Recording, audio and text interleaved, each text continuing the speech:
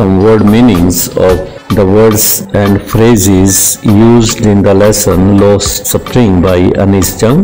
बारहवीं क्लास के स्टूडेंट्स के लिए उनके लेसन लॉस्ट स्प्रिंग में जो इम्पोर्टेंट वर्ड्स और फ्रेजेस यूज़ की गई हैं, उनको मैं डिस्कस कर रहा हूँ first word is rag picker rag picker कौन होते हैं? कूड़ा करकट चुनने वाले।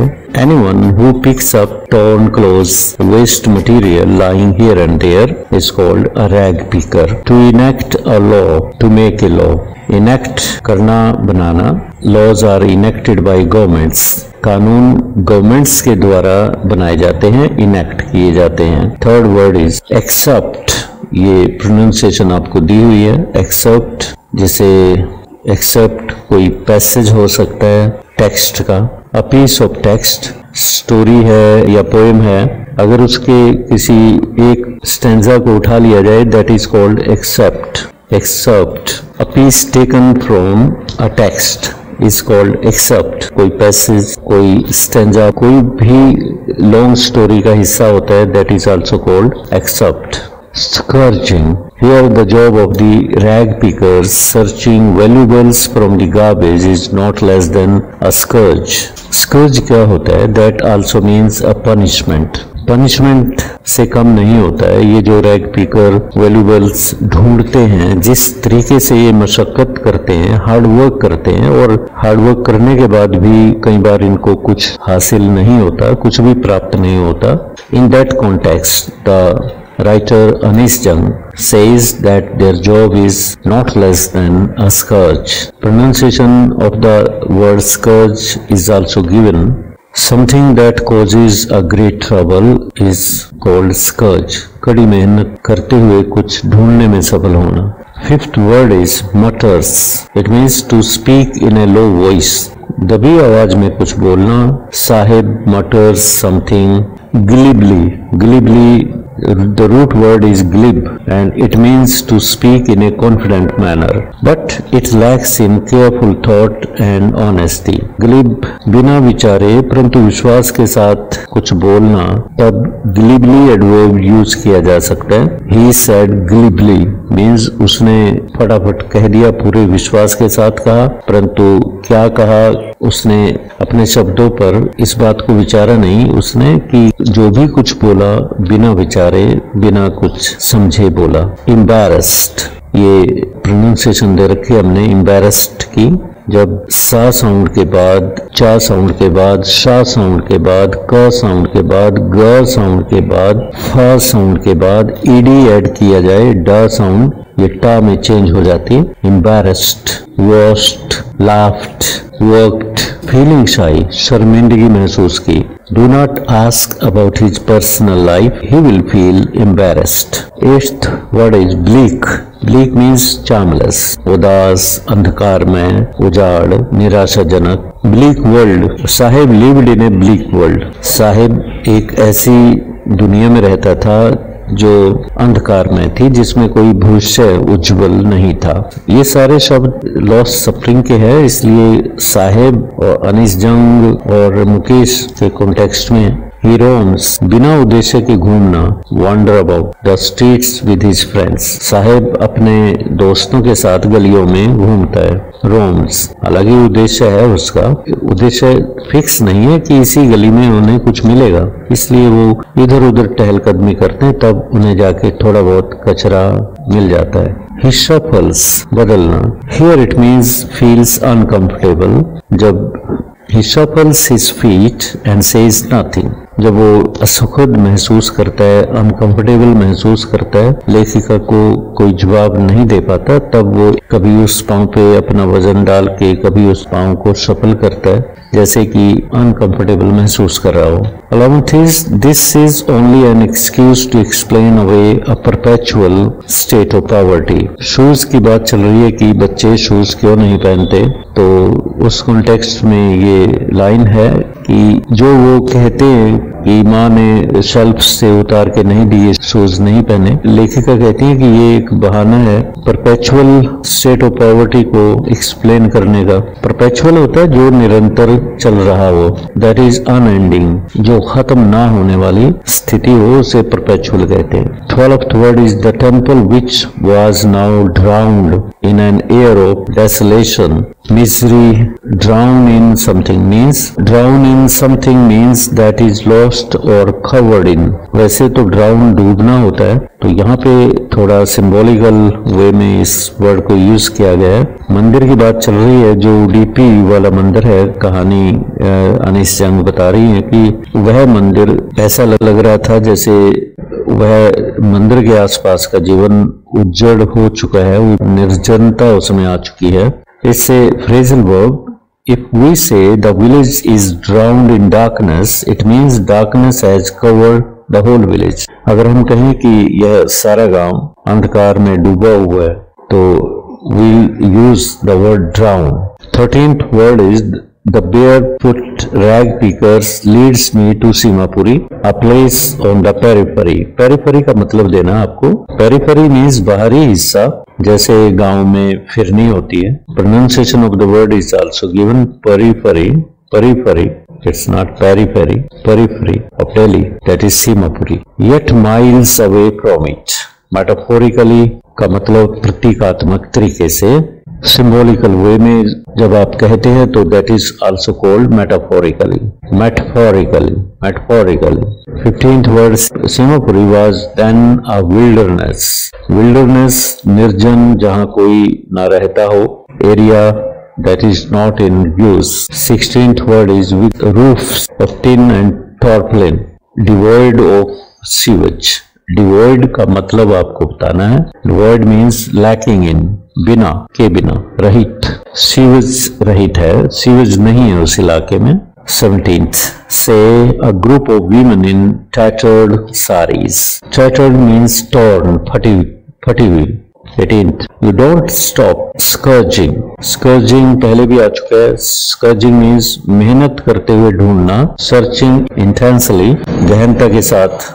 पर there is hope of finding more किसी उम्मीद में कि कुछ और मिलेगा तो किसी ढेर में कुछ तलाश करना। That is called scourging nineteenth word is it has acquired acquired means उपलब्ध करना अचीव्ड द प्रोपोर्शन प्रोपोर्शन यहाँ समानता equalities of a fine art वो जो कला है इनकी, जितने भी रेक पीकर्स हैं, जब ये कूड़ा बीनते हैं, कूड़े में से कुछ फाइंड आउट करना चाहते हैं, जिस तरीके से ये फाइंड आउट करते हैं तो ऐसा लगता है जैसे वो कला इन्होंने हासिल कर ली है, कला प्राप्त कर ली है अपने काम में, बड़े कलात्मक ढंग से वो कूड़ा बीनते हैं। Twenty word is for the children it is wrapped in wonder wrapped means लिपटा हुआ covered twenty first word phrase for builders it's a means of survival means of survival means जीवित रहने का एक साधन. Twenty second word content I like the game he hums content to watch it standing behind the fence content means satisfied संतुष्ट twenty third word is discarded The fact that they are discarded shoes of some rich boy. Discarded means फेंका हुआ या फेंके हुए। जो shoes Sahib को मिले थे, जिनको उसने पहना हुआ था दोज वर डिस्कार्डेड शूज़ किसी अमीर बाप के बेटे ने उन्हें फेंक दिया होगा। Twenty fourth word is but the game he is watching so intently is out of his reach जिस गेम को साहिब इतने गौर से देख रहा है, बड़े ध्यान से देख रहा है इंटेंटली मीन्स बहुत ही ध्यान से। वो उसकी पहुँच से बाहर है। आउट ऑफ़ रीच मीन्स पहुँच से दूर। Twenty fifth word is looms his dream looms like a mirage amidst the dust of states loom means appears unclear जो अस्पष्ट दिखाई दे, उसे लूम्स कहेंगे। मिराज भ्रम होता है। जो रियल में कुछ और होता है, भ्रमित करने वाले को मिराज कहते हैं। Twenty six word is with high temperatures in dingy cells. Dingy means छोटी, cells means कोठड़ियाँ. ये जो चूड़िया बनाने वाले लोग हैं बच्चे हैं ये छोटी छोटी कोठड़ियों में काम करते हैं जहाँ पे हवा और रोशनी प्रवेश नहीं करती twenty seventh word is slog slog means गुजारना जैसे कोई घसीट के अपने वक्त को गुजारता है बहुत ही बोरिंग तरीके से उस तब स्लॉग वर्ड यूज़ होता है। Twenty eight Mukesh eyes beam as he volunteers to take me home Anis Jung कहती है कि जब जब मुकेश ने ऑफ़र दिया उनको कि वो, उनको अपने घर ले जाना चाहता है तो जब वो वॉलंटियर कर रहा था, स्वयं को सेवा में लगाना होता है वॉलंटियर करना बीम का मतलब चमक। उसकी आँखों में चमक आ गई थी जब वो स्वयं को कह रहा था कि मैं आपको अपने घर ले जाऊँगा। Means he was volunteering himself he volunteered himself to help the author take her home twenty ninth we walk down stinking lanes choked with garbage past homes that remain holes with crumbling walls wobbly doors no windows तो लेखिका ऐसी गलियों में से जा रही हैं, जिनमें बदबू फैली हुई है। स्टिंकिंग बदबूदार होता है। ऐसी लेन्स लेन्स मीन्स गलियाँ दोज वर विद गार्बेज जो कूड़े करकट से भरी पड़ी हैं। ऐसे घरों के पास से वो गुजरे, जो लगते हैं कि ये झुग्गी झोपड़ियाँ हाउस झुग्गी झोपड़ियों के लिए यूज़ किया गया जिनकी दीवारें क्रम्बलिंग हैं, गिरने वाली हैं। वोबली डोर्स हैं। ऐसे दरवाजे हैं जो अगर थोड़ा सा धक्का मार दिया जाए तो वो गिर जाएँ। 30th crowded with families of humans and animals coexisting in a primeval state. Primeval means आदिकालीन, पुरातन। एंशियंट टाइम से बिलोंग करने वाली चीज़ को प्राइमिवल कहते हैं। Crowded with families of humans and animal coexisting ऐसे घर हैं जिनमें मनुष्य भी रह रहे हैं और जानवर भी रह रहे हैं, एक साथ रह रहे हैं को एग्जिस्ट कर रहे हैं। तो देखने में लगता है जैसे ये स्थिति किसी पुराने जमाने की हो, जैसे हड़प्पन सिविलाइजेशन या इससे दूर की कोई सिविलाइजेशन हो, जब कोई प्रोग्रेस ह्यूमन प्रोग्रेस ना हुई हो। बैंग्स वोबली वोबली मीन्स डगमगाता हुआ, गिरने के कगार पे हो जो shaky iron door with his foot and pushes it open तो मुकेश लेखिका को ऐसे एक घर के सामने ले जाता है, जिसका दरवाज़ा वोबली है। वोबली मीन्स डगमगाता हुआ गिरने के कगार पे है तो उसको अपने पैर से ओपन करता है। Thirty second we enter a half built shack अब लेखिका और मुकेश एक आधे बने हुए घर में प्रवेश करते हैं। शैक का मतलब शेड यानी झोप झोपड़ी नुमा झोपड़ी नुमा घर कोई। Thirty third is a firewood stove over which sits a large vessel of sizzling spinach leaves. तो घर में देखा कि एक तरफ़ फायरवुड है, चूल्हा बना हुआ जिसमें आग जल रही है और ऊपर उसके एक बड़ा सा बर्तन वेसल मीन्स बर्तन रखा हुआ है और जिसमें स्पिनच लीव्स पक रही हैं। सीजलिंग मीन्स गर्मा गर्म तपती हुई। Thirty fourth in this case the elder is an impoverished bangle maker तो लेखिका बातें करती हैं, परिवार वार वालों से बातें करती हैं तो यहाँ पे एल्डर का ज़िक्र है एक का, जो कि इम्पोवरिस्ड वर्ड यूज़ किया जिसके लिए गरीबी से ग्रस्त पॉवर्टी स्टिकन बेंगल सेलर उसे कहा है, गरीबी से ग्रस्त है। He has fail to renovate renovate करना होता है रिपेयर करना मॉडर्नाइज करना, किसी घर का, किसी बिल्डिंग का नवीनीकरण करना। Send his two sons to school, okay? 36th line mounds. Mounds क्या होते हैं? ढेर। चूड़ियों के स्पायरल्स ढेर के ढेर में रखे हुए अनकैम्प्ड अस्त व्यस्त बेतरतीब में। जो ढेर हैं, वो सिस्टम में नहीं लगे हुए, बेतरतीब में है अस्त व्यस्त है। Are piled on four wheeled hand carts hand carts जो होते हैं, हाथ से चलाने वाले रेडियो उस पे। रेडियो के ऊपर ये चूड़ियों के ढेर लगे हुए हैं, जो अस्त व्यस्त हैं। Thirty seventh word is shanty shanty means small the narrow lanes of the shanty town Firozabad के लिए यहाँ शेंटी वर्ड यूज़ किया गया कि स्मॉल टाउन है। Thirty eight word is hutments and flickering and in dark hutments, next to lines of flames of flickering oil lamp. Hutments, झोपड़ियाँ, flickering oil lamps होते हैं, जिनकी लौ टिमटिमा रही हो फ्लिकर करना, टिमटिमाना। Thirty nine word is auspiciousness पवित्रता sanctity it similise an Indian woman suhaag auspiciousness पवित्रता.